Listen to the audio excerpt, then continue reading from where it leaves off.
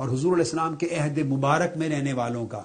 माजल्ला जिनके बारे में बदगुमानी जहनों में आए या डाली जाए या वसवसा अंदाजी की जाए, उन सारों को शामिल करके बात कर रहा हूँ कुरान के पैमाने से। कैसे डिफ्रेंशिएट किया जाए? सिद्ध को इखलास ईमान में और माजल्ला मुनाफिकत, निफाक।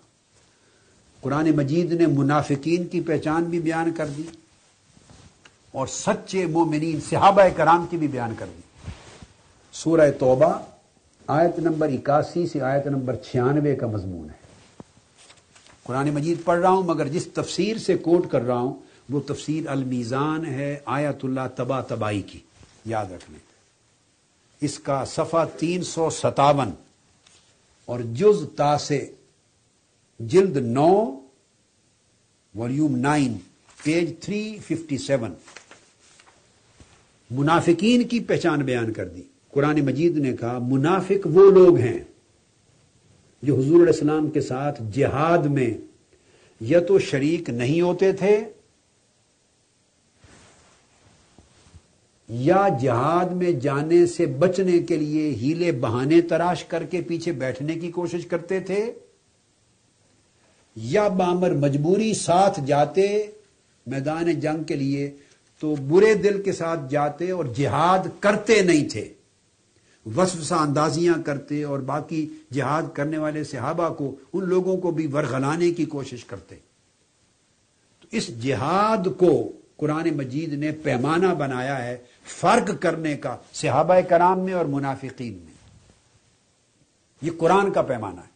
इर्शाद फरमाता है, कुरान, फस्ता अजनू का लिल खरूज, फकुल लन तखरजू मैया अबदा, वलन तुकातिलू मैया अदुवन इन कुम रदी तुम बिलकूद अव्वल मर्रा फ़क उदूम अल खालिफीन फरमाया मुनाफिक वो लोग हैं जो आपसे बहाने बनाकर इजाज़त तलब करते हैं कि कहीं जहाज़ पर न जाना पड़े हमारा बच्चे बीमार हैं हमारे घर ये है कारोबार में प्रॉब्लम है सेहत ठीक नहीं है टांग को चोट आ गई है फला मसला आ गया है बहाने तलाश करते हैं रह जाएँ ताकि जिहाद में न जाएँ तो फरमाया मेरे महबूब उनसे कह दो, लन तखरजू माया बदा खबरदार, मेरे साथ कभी जहाद पे ना निकला करो।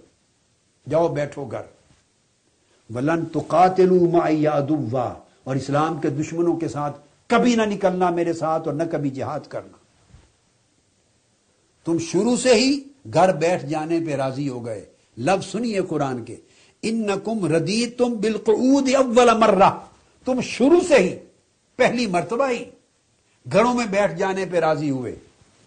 तुम्हें जिहाद पे निकलना गवारा ही नहीं था। फक उदू माल खालिफीन। बैठ जाओ पीछे रह जाने वालों के साथ। ये कुरान मजीद ने आयत उतारी, पैमाना दिया। अब इस पैमाने पे परख लो, कौन आया इन खुलफा राशिदीन में से या सिहाबा किबार में से? कोई एक शख्स है जिसने इस्लाम से जहाद के लिए, से बचने की कभी एक बार भी इजाज़त मांगी है। कुरान का पैमाना है। भाई, मन घड़त किससे छोड़ दीजिए खुदा के लिए? ये मन घड़त रिवायात, ये अफसाने अबातील दफ़ा कर दें। हर बात का फैसला कुरान से करें। कुरान पर सबका ईमान है। इनमें से किसी एक का बता दें। कभी मौला अली शेर खुदा ने इजाज़त मांगी हो मैं जहाद पे नहीं जाता। कभी सीधना उस्मान गनी ने जहाज़ पे जाने से इनकार किया हो, बहाना तराशा हो। कभी सैदना फारूक आज़म ने तराशा हो, कभी सैदना सिद्दीक अकबर ने तराशा हो। ये तो चारों सिहाबा, खुलाफा राशिदीन और फिर जिमला सिहाबा किबार 313 बदरी ले लें। पहली जंग ही बदर की थी। पहली जंग। इन बदरी सिहाबा में पहली जंग गजवा बदर की, जहाँ पहला मुकाबला था और बेसर समानी के आलम में था। इन चारों में कोई एक घर बैठा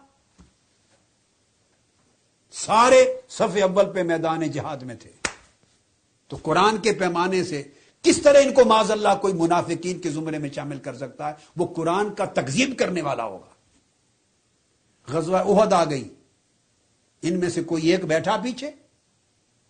गजवा खंदक आ गई। इनमें से कोई एक पीछे था? हुदैबिया का मुकाम आ गया। इनमें से कोई एक पीछे रहा? फतेह मक्का के लिए बड़े कोई एक पीछे रहा? गजवा हुनैन हुआ, कोई एक पीछे रहा। हवाजिन के गजबे हुए, कोई एक पीछे रहा। सिवाय सिर्फ़ दो मौके आए, जिनमें आका सलाम ने हुक्म देकर एक मौका पर सीधना मौला अली शेर खुदा को रोका। गजवा तबूक था, पीछे रहे।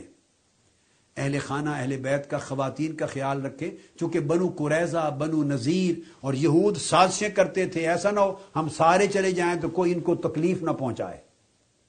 निगरान बना के रखा। एक मौका पर आकल इस्लाम की साहबजादियाँ, अलील थी, करीब वफात थी, हुक्म फरमाया, उस्मान, तुम इधर रहो। मगर कुरान की आयत ने कहा कि चूँकि मैं छोड़ के जा रहा हूँ हुक्मन, लिहाजा अजर में तुम जिहाद वालों के साथ शरीक होगे अगर आप मिसाल सीधना उस्मान गनी की देना चाहें, हालाँकि हुजूर ने रोका था तो उसी पोजीशन में मौला अली शेर खुदा भी खड़े नज़र आएँगे। अल्लाह ने अदल कर दिया। दोनों तरफ़ एक एक वाकया कर दिया। तो तेईस बरस के पूरे जिहादात में चारों से आबा सफ़े अव्वल में रहे। जाने लुटाते रहे। इनमें से कोई माल खालिफीन न था, माल कायदीन, पीछे रह जाने वालों में न था मुस्ताजीन में न था। तो जब कुरान के पैमाने पर ये सारे मुजाहिद हैं तो मुनाफिक कैसे हो गए? माजल्ला अस्तफिर आगे चलिए। इसकी अगली आयत आती आयत नंबर चौरासी। ये आयत नंबर तिरासी थी। क्या हुआ जब आकल सलाम वापस आए गजवा तबूक से? कभी उस रास्ते के लिए वरूद है, कभी उस मौका पर। उस वक्त तक जो मुनाफिकीन थे, अब्दुल्ला बिन उबई, बिन काब जो मुनाफिक था, सरदार था मुनाफिकों का तो वो उसकी डेथ हो गई, मर गया। तो आकर इस्लाम ने तारीफ़ कलूब के लिए कि उसका बेटा मुसलमान था। सहाबी था। तो तारीफ़ कल्ब के लिए और इस ख्याल से कि ग्यारह बारह सौ मुनाफिक उस दिन उसके जनाजे के लिए जमा थे।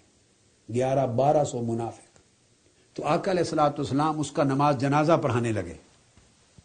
अब यहाँ दूध का दूध और पानी का पानी हो रहा है कि कौन मुनाफिक हैं, कौन सच्चे खरे मोमिन सिहाबा ने मुस्तफ़ा हैं। आकाल इस्लाम ने इरादा किया जनाजा पढ़ाने का। अब इस मुकाम पर जमी कुतुब में आता है तफासिर में। सीदना फरूक आज़म रज़ी अल्लाह तु खड़े हो गए, अर्ज़ किया, या रसूल अल्लाह ये मुनाफिक हैं, आपके दुश्मन हैं, इनकी नमाज़ जनाजा ना पढ़ाइए। जो सियाबी मुनाफकों की नमाज़ जनाजा पढ़ाने से आकर इस्लाम की बारगाह में हाथ जोड़ के खड़ा हो गया, आका खुदा के लिए ना पढ़ाइए, ये मुनाफिक हैं। हद है ना इंसाफी की कि ऐसी हस्तियों को माजल्ला मुनाफिकीन में तस्वुर किया जाए। और इन्हीं के आकल इस्लाम ने फिर पढ़ाई नमाज़ जनाजा। जब नमाज़ जनाजा पढ़ा ली तो सीधना फारूक आज़म रोकने वाले थे, दरखास्त करने वाले थे। अल्लाह पाक को फारूक आज़म की दरखास्त पसंद आ गई और उनकी बात की ताईद में यह आयत करीमा नाजिल फरमाई। हुक्म आया, वला तुसल्ली अला अहदिम मिन हम माता अबदा। वला तकुम अला कब्र इन काफरू बिल्ला व रसूल व मातु हम फासिकून। इनकी, इन पर कभी ना नमाज़ पढ़ाइए, न इनकी कब्रों पर खड़े होइए। ये अल्लाह और अल्लाह के रसूल से कुफर करने वाले और फिस की हालत में मर गए। तो ये आयत सीदना फारूक आज़म की नमाज़ जनाजा पढ़ाने के मामले में मना करने की दरखास्त की ताइद में नाजिल हुई। तो कुरान में दूध का दूध और पानी का पानी कर दिया। मुनाफिक उस तरह थे और उनकी नमाज़ से मना करने वाले फारूक आज़म जमी से आबा इस तरफ़ थे। इनकी ताइद में आयत होती फिर कुरान मजीद ने बयान किया मुनाफिकीन का। वैजा उनजिलत सूरत आमिन बिल्ला व जाहिदू मा रसूल ही इस्ताना का उलुतौल मिन हम वकालू जरना नकुम मनकायदी फिर कायदा बयान किया। जब जिहाद उतरती है, जब आयत उतरती है, ईमान लाएँ और जिहाद करें, कोई आयत जिहाद उतरती है जब कोई हुक्म जिहाद आता है तो या रसूल अल्लाह अच्छे भले तनावर और मालदार होकर आपसे जिहाद से जान छुड़ाने के लिए इजाज़त मांगते हैं। ये मुनाफिक हैं। खुलफा राशिदीन, सिहाबा किबार हत्या के बैत रिजवान और सबकून अलवलून और दीगर सिहाबा कराम ने आकल इस्लाम से कभी जिहाद से जान छुड़ाने के लिए इजाज़त तलब नहीं की। ये सफ़ अव्वल में जिहाद में रहे। तो कुरान मजीद ने इन लोगों के लिए कहा तो बे आला कलूब फोमला यफकून इनके दिलों पर मोर है मुनाफिकत की. अब ये मुनाफिकीन का ज़िक्र था। अब आप पूछ